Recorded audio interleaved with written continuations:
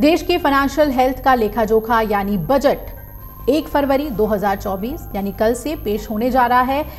इस दिन संसद में कई बड़े ऐलान होंगे तो वही देश में इस तारीख से कई बड़े बदलाव भी हो जाएँगे।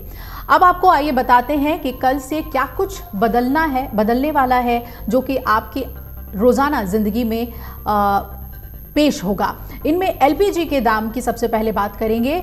एलपीजी प्राइस से लेकर फास्टैग के ज़रिए पैसे ट्रांसफ़र करने के नियम शामिल हैं, जो कि कल से बदल जाएँगे और इसका सीधा असर आपकी ज़िंदगी पर पड़ेगा। आइए आपको ऐसे ही छह बड़े बदलावों के बारे में बताते हैं। बजट वाले दिन, जहाँ पूरे देश की निगाहें वित्त मंत्री निर्मला सीतारमण के बजट भाषण पर होगी तो इसकी शुरुआत से पहले एलपीजी की कीमतों में होने वाली बदलाव पर भी नज़रें रहेंगी। हर महीने की पहली तारीख को ऑयल मार्केटिंग कंपनियाँ एलपीजी सिलेंडर की कीमतों में बदलाव करती हैं। सिलेंडर की कीमतों में बदलाव आम आदमी के बजट में उतार चढ़ाव करता है। देखने वाली बात होगी कि बजट के दिन एलपीजी पर राहत मिलती है या फिर एक बड़ा झटका मिलता है।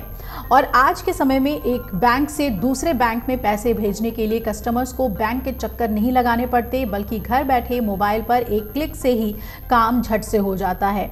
यानी कि आप आईएमपीएस, मनी ट्रांसफ़र बेहतर विकल्प के तौर पर देखते हैं। कल से जो दूसरा बड़ा बदलाव होने जा रहा है, वो इसी से जुड़ा हुआ है।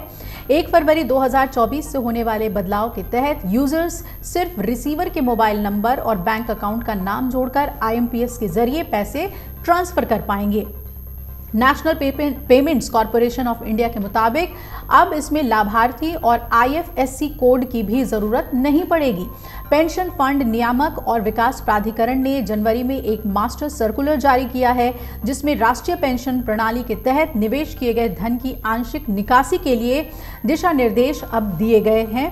पेंशन निकाय ने ये स्पष्ट किया है कि ग्राहक केवल पहले घर की खरीद या निर्माण के लिए आंशिक निकासी कर सकते हैं। ये नियम भी एक फरवरी से लागू कर दिया जाएगा।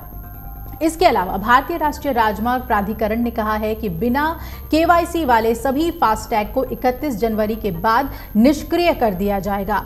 एक फरवरी को यूज़र्स को ये तय करना होगा कि उनके फास्टैग के लिए केवाईसी पूरा हो चुका है।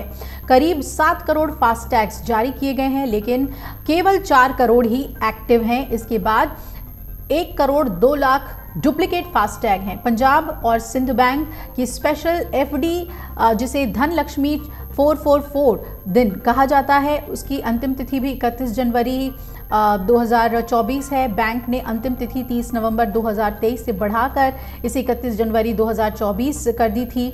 ऐसे में एफडी में पैसा लगाने वाले इसमें निवेश कर सकते हैं।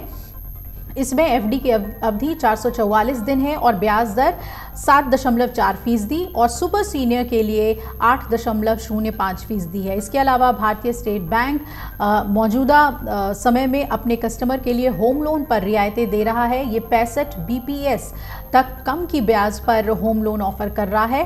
होम लोन पर प्रोसेसिंग फ़ीस और रियायतों की भी अंतिम तिथि 31 जनवरी 2024 है।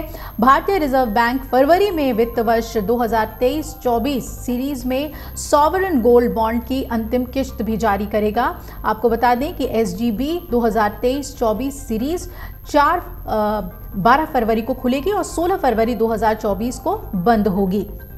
वहीं इससे पहले वाली किश्त 18 दिसंबर को खुली थी और 22 दिसंबर को बंद हुई थी। इस किश्त के लिए केंद्रीय बैंक ने सोने का नियम मूल्य निन्यानवे रुपए प्रति ग्राम तय कर दिया था। तो ये तमाम नियम हैं जो कल से बदल सकते हैं और कल नए नियम आएँगे भी तो इस पर नज़र बनाए रखिएगा और हम भी आपको इससे जुड़ी हुई अपडेट देंगे। अगर आप ये वीडियो YouTube पर देख रहे हैं तो हमारे चैनल को सब्सक्राइब करें और बेल आइकन को दबाना ना भूलें। अगर आप Facebook पर यह वीडियो देख रहे हैं तो हमारे पेज को लाइक करें। अगर आप ये वीडियो YouTube पर देख रहे हैं तो हमारे चैनल को सब्सक्राइब करें और बेल आइकन को दबाना ना भूलें। अगर आप फेसबुक पर यह वीडियो देख रहे हैं तो हमारे पेज को लाइक करें।